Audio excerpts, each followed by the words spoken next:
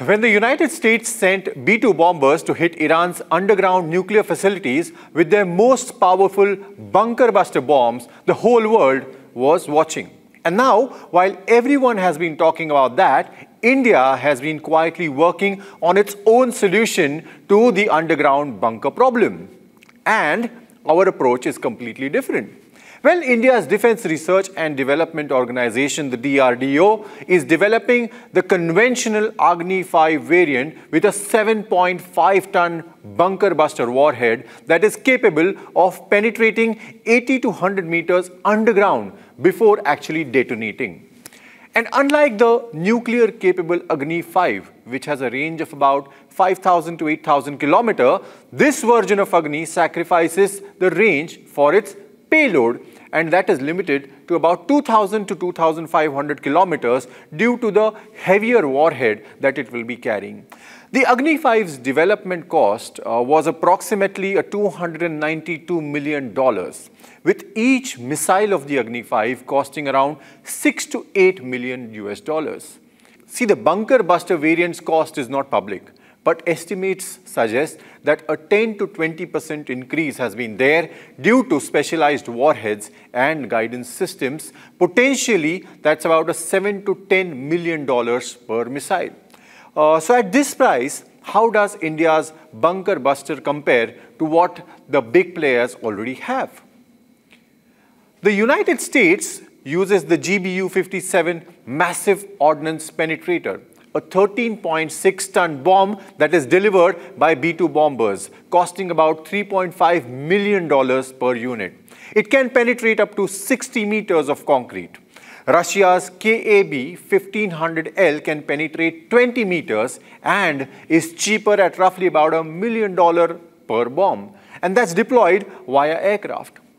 China's YJ-21 hypersonic missile with a limited bunker busting capability costs an estimated about 2.2 to 3 million, while India's missile-based approach is unique, offering flexibility over air-delivered systems. It avoids the need for costly bombers.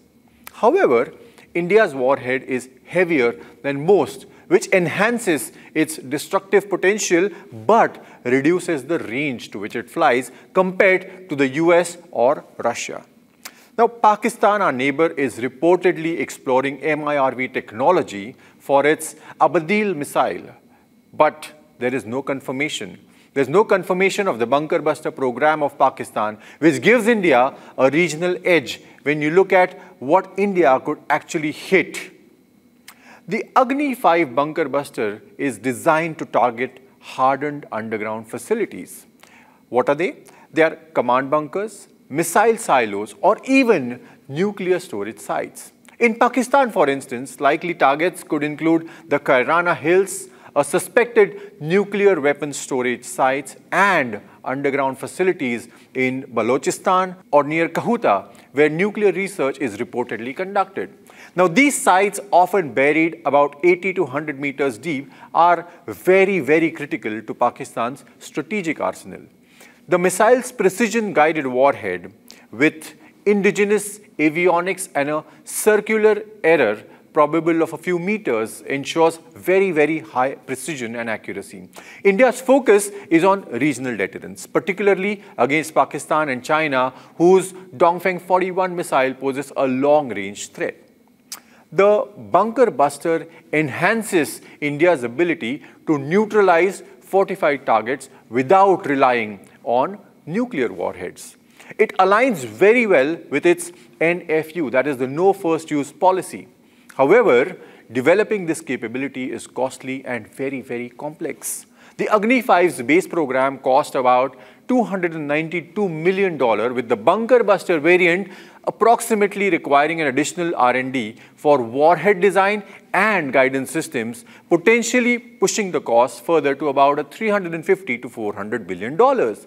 What are the challenges that we face? The challenges include miniaturizing guidance systems and ensuring warhead reliability compared to the US, which spent about uh, a 400 million developing the GBU-57. India's program is fairly cost effective, leveraging the already existing Agni 5 infrastructure. However, timelines remain uncertain with the estimates suggesting that operational deployment of this bunker buster bomb by 2030. India's bunker buster Agni 5 positioned itself as a formidable player in the strategic warfare, rivaling global powers like the US and the Russia, while outpacing our most immediate enemy, and that is Pakistan.